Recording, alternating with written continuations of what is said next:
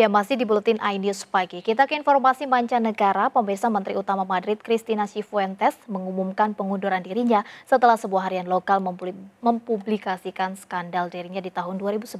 Skandal tersebut adalah sebuah rekaman kamera pengawas yang memperlihatkan Cifuentes sempat ditahan polisi karena dituduh mencuri krim anti penuaan.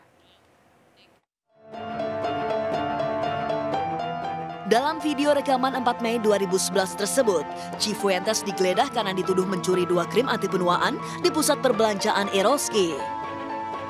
Politisi dari Partai Rakyat tersebut bersikukuh insiden tujuh tahun lalu itu merupakan kesalahan tak disengaja. Cifuentes mengaku sudah membayar krim seharga 40 euro atau sekitar 679 ribu rupiah itu sebelum dihentikan polisi. Cifuentes menambahkan, seseorang juga sempat berusaha merasnya menggunakan video itu.